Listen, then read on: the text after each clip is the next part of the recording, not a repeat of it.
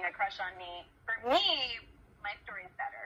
Um, when I was like 13, I was obsessed with Mariah Carey's Honey video, and I was obsessed with the hot guy at the end of the video frolicking on the beach with Mariah Carey.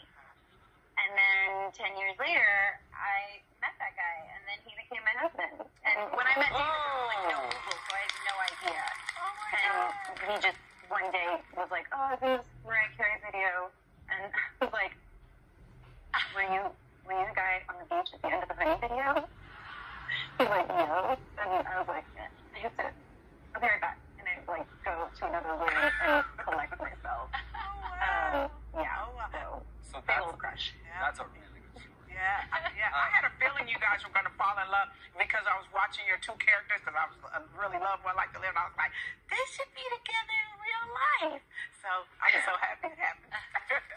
Now, before before all of your success as a